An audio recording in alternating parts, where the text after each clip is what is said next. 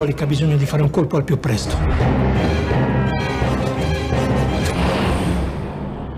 Ci siamo. Allora, intanto devo dire a Monica Bellucci, questa è una cosa personale, che io sono appena diventata zia Ah, di due gemelli e la, ba- la bambina si chiama Altea proprio in onore di questo personaggio, perché la mamma è grande fan di Diabolic, quindi porta Altea nel fortuna. mondo. Lo senti il peso di questa cosa adesso Beh, sono felice, adesso sono ancora più felice. Comunque è un bellissimo nome, tra l'altro. Altea è bellissimo. Bellissimo, infatti. Sì. E bellissimo personaggio perché è l'unica che mm, un po' incide questa scorzatura di, di Ginko. Io ho subito una domanda. Ma Sandra mi aveva detto l'altra volta che in realtà Diabolic non lo vuole prendere davvero perché, Che se lo prende è finita. esatto, non vuole nemmeno baciare Altea però, vorrebbe baciare di più Diabolic a questo punto. Guarda, lì alla fine, alla fine, voglio dire, il sentimento è talmente forte nei confronti di tutti che la possiamo anche buttare in caciara.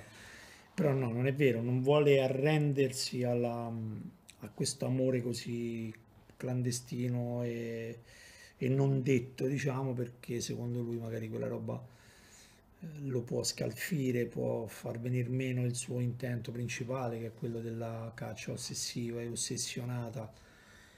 Invece no, invece di essere fragili mh, per certi aspetti può anche dare più coraggio e più determinazione in alcune cose, secondo me, eh, poi non so se il Però- personaggio l'ha restituita questa cosa. Altea capisce l'ossessione di, di Ginko, ecco, quanto è importante anche farsi prendere a volte dalle proprie ossessioni perché ci tengono insomma Ma lei, Altea, ama Ginko e lo ama anche per questo, perché comunque è impavido, è- non ha, eh, non c'è niente che lo frena, no? In questo, in questa ricerca, in questa lotta che...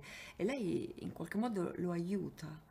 Eh, ne è gelosa, ma è quasi che ci gioca con questa cosa, perché quello che eh, le piace di lui è proprio che è così duro, che è così anche chiuso, perché è una donna che può avere tutto, quindi eh, la difficoltà che trova a- ad aprire il suo cuore è anche qualcosa che la eccita, Mhm, perché è un personaggio misterioso, una femminilità particolare. mhm. Una delle primissime frasi che viene detta all'inizio di questo film, quando i poliziotti stanno giocando a carte, è non è tanto divertente giocare, la cosa divertente è il rischio. Eh, quanto è stato un rischio per voi questo film? Quanto vi piace proprio il rischio anche nella vostra carriera? Beh, se non si rischia facendo quello che facciamo noi, se uno cerca solo le strade già battute e comunque in cui si trova a suo agio, è un peccato, perché poi il nostro è un lavoro così di espressione pura, quindi magari cercare di sbagliare anche, eh, di sperimentare, insomma, è... certo più vai avanti e più è difficile accettare il rischio e cerchi la comfort zone sempre di più, però non bisogna perdere, credo che sia proprio il senso profondo di, di- di fare un tipo di lavoro artistico, ecco, cioè quello di rischiare.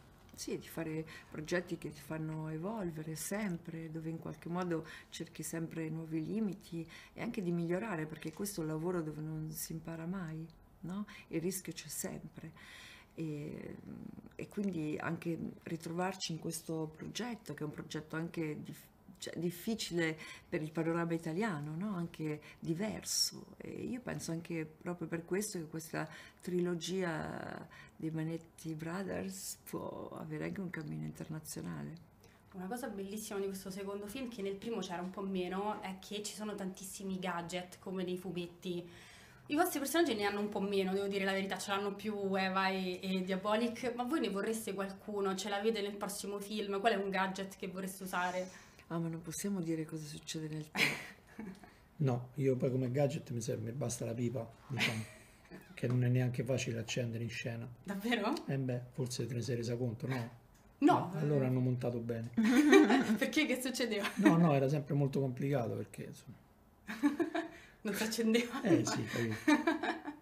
Bellissimo. E, e invece un'altra frase è niente viene prima di Diabolic, il sonno, l'amore o la morte. Ecco, quanto è lecito spingersi oltre per inseguire i propri obiettivi? Cioè addirittura la morte. Eh, obiettivi, ideali, Mm, insomma, ne è piena la storia, ma io penso sempre che finché uno vuole lottare per le cose che- in cui crede, lo deve fare, diciamo. Poi arriva un momento in cui ti arrendi pure, magari, eh, però l'amore è una cosa per la quale vale la pena, diciamo, andare sempre, spingersi anche un po' oltre a volte. Ma tutti questi personaggi giocano con la morte, tutti. Ehm, anche per questo che c'è una grande sensualità in qualche modo, no? Eh, anche noi due ci baciamo in un cimitero a un certo punto, che è proprio il discorso di amore e morte. Con quel cappotto poi più sensuale di quel cappotto, no, il tuo, il mio, dico, il tuo. E infine, infine, curiosità, è stato più difficile baciare Monica Bellucci o accendere la pipa? ok, Questa è una bellissima sì, veramente. Bellissimo, non riesco neanche a rispondere. L'hai capito da sola, diciamo. Va bene. No. Grazie mille, Ciao, grazie.